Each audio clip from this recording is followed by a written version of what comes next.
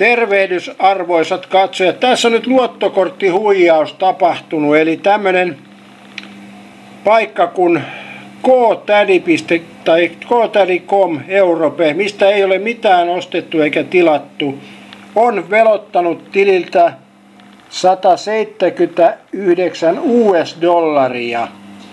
Ja tota, sit, sit eli 165 euroa 53 senttiä. Eli 6. päivä 8. on velotettu ja 6. päivä 8. onkin tilille palautettu sama 179 dollaria, mutta kurssimuutoksesta johtuen tilille on tullut takaisin vain 158,81. Eli noin 7 euroa on tämmöinen hupifirma varastanut tililtä eli gotaddy.com ja tota, tästä on tosiaan tehty jo rikosilmoitus ja tämä on uusi tapa huijata luottokorttiasiakkaita. Eli tehdään hupivelotus tililtä ja tota, sitten se palautetaan tili pari päivää myöhemmin ja kurssimuutoksesta, kuten näette, tuossa on kurssimuutoksesta johtuen takaisin palautetaankin vähemmän rahaa.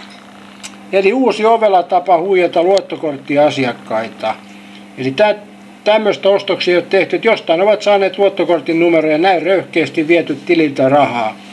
Ja tota, 165 euroa 53 senttiä vietiin ja palautettu 158,81.